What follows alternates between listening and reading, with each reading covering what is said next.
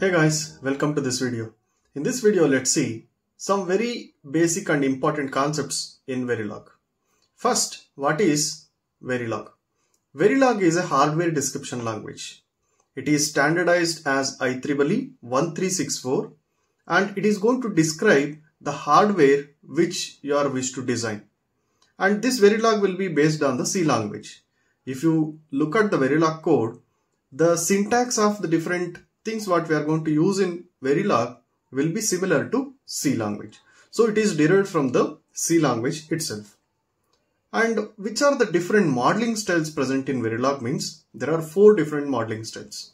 One is data flow style, another one is behavioral style, and then structural style, and then mixed style. So in the data flow style, we are going to use the logical expressions as it is using Verilog operators in the code. So if we are going to use the logical expressions as it is with the keyword assign, then it is called as a data flow description. It describes how the data flows in between the modules. And then we have behavioral style. In this behavioral style, we are going to use the two main constructs of Verilog that describe the behavior using always and initial blocks. So here in the behavioral style, we can use conditional statements, we can use loops and the different structures what we have in C, those things are incorporated here. This style will be called as behavioral style. Then we have structural style. For this structural style, if you can take an example of full adder design, it may be designed using two half adders if the half adder is already available with you. So the structure of the half adder can be used in the design of full adder. So that becomes the subcomponent of a full adder. So these kind of things used in a uh, Verilog code will be called as structural style. And we can mix of these three styles while designing. So that will be called as mixed style. So these are the four different styles of Verilog modeling.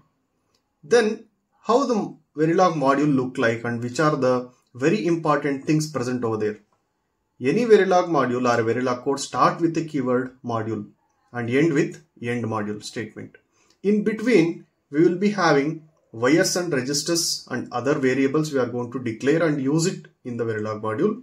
And as I said, it may consist of some data flow statements with a assign keyword and it may consist of lower level modules such as half adder in the design of full adder or any uh, subcomponent or the lower level module that will be instantiated.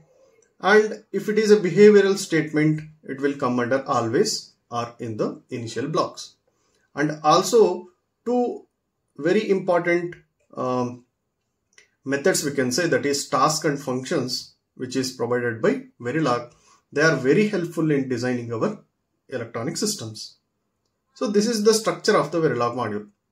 Then how do we define Verilog module means this Verilog module is going to give you the behavior of the design what you are going to aim for and after the synthesis that Verilog module is going to give you the gate level circuit. It is like a descriptive language which is going to give you the hardware how it will be on the silicon after the synthesis.